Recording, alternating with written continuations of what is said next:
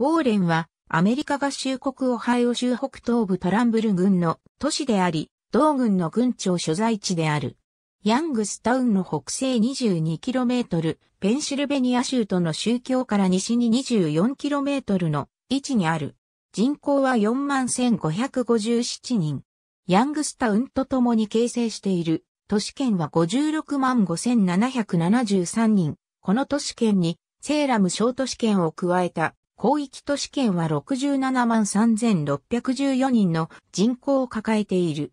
1798年、エフレーム・クインビーがコネチカット土地会社からコネチカット西部保留地としてあった土地441エーカーを購入し、ウォーレンの町を設立した。クインビーは町の測量士、モーゼス・ウォーレンから町の名前を取った。1801年にはトランブル郡の郡庁所在地になった。1833年、市内には郡庁舎、印刷所2件、銀行1件、商店5件があり、住人は約600人だった。1846年には人口が1600人近くになっていた。同年、教会5棟、店舗20件、新聞社3件、銀行1件、毛織物工場1棟、小麦粉工場2棟があった。1846年6月、火事でタウンスクエアの片方にあった建物数軒が燃えたが、住民はすぐに新しい店舗や事業を建設して置き換えた。この時期に周辺田園部に住む農夫にとって重要な交易拠点となっていた。作曲家のスティーブン・フォスター、その妻のジェイン・マクダウェル、及び娘のマリオンが短期間ウォーレンに住んでいた。トラウンブルック庁舎19世紀の後半と20世紀を通じて、ウォーレンは交易と製造の重要な拠点だった。1888年までに4本の鉄道が通り、州内各所とをつないだ。同年、新聞社は5件、教会7棟、銀行3件があり、多くの製造会社があった。生産される商品として、アマニ油、家具、タルイタ、毛織物、ブラインド、白熱電球、自動車、荷車があった。1890年にウォーレンに設立されたパッカード電気会社によって国内で初めて電気の街灯が灯った街になった。1890年の人口は5973人になった。中心街でのトランブル軍庁舎の建設は1895年の感謝祭の日に始まった。ウォーレンの街は20世紀に入っても成長を続けた。19世紀末と20世紀初期、周辺群には大量の石炭と鉄鉱石が埋蔵されていたので、鉄鋼生産が軍内の主要産業となった。近年ウォーレン住人の多くは地元のサービス業や小売業で働いている。2000年の人口は46,832人となり、軍内最大だった。19世紀末と20世紀初期の建築様式による建築物が中心街に残っている。トランブル軍庁舎は州内最大級の法廷があり、軍庁舎広場を囲んで、トランブル軍、カーネギー法律図書館のほか、事務所、銀行、店舗、家屋がある。ウォーレンは、北緯41度14分18秒整形、80度48分52秒に位置している。ヤングスタウンからは北西へ約 24km、クリーブランドからは南東へ約 70km、ピッツバーグからは北西へ約 130km に位置する。市の標高は272メートルである。アメリカ合衆国国勢調査局によれば、ウォーレン市は総面積41.85平方キロメートルである。このうち陸地は41.78平方キロメートルで、水域は0.08平方キロメートルである。総面積の0.19%が水域となっている。ウォーレンやヤングスタウンを含むアルゲーニー大地上のこの一帯はマホニングバレーと呼ばれている。この地域は最終表記において氷河に覆われ、侵食されたため、アルゲーニー大地の中でも比較的なだらかな地形となっている。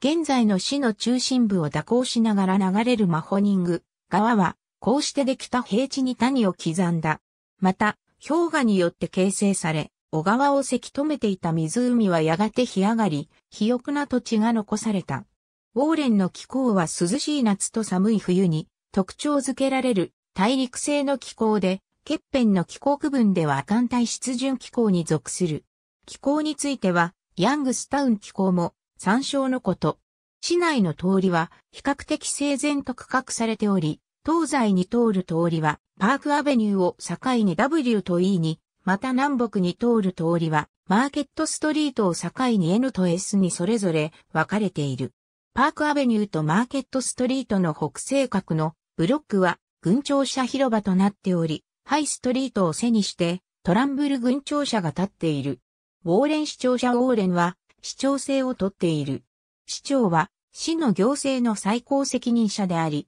その任期は4年である。市の立法機関である市議会は議長と10人の議員からなっている。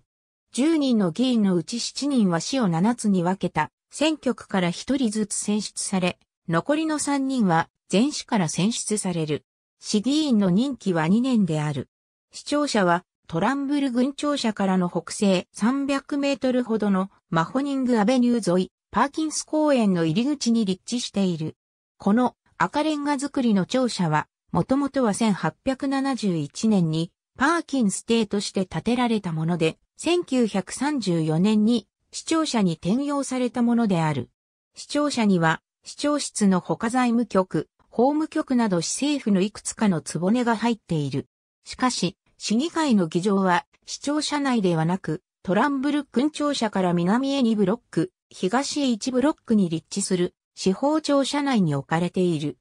ウォーレンを含むヤングスタウン都市圏の空の玄関口となる商業空港は、市の東約 16km に立地するヤングスタウン、ウォーレン地域空港である。しかし、この空港にはアレジャイアント航空しか就航しておらず、就航路線もセントピーターズバーグクリアウォーターとプンタゴルダへの2路線のみである。より規模の大きく、就航路線数、便数の多い空港としては、西へ約 100km に立地するクリーブランド・ホプキンス国際空港や南南東へ約 115km に立地するピッツバーグ国際空港が挙げられる。ウォーレンの成功には、オハイオターンパイクという有料道路になっている、週間高速道路 I-80 が通っている。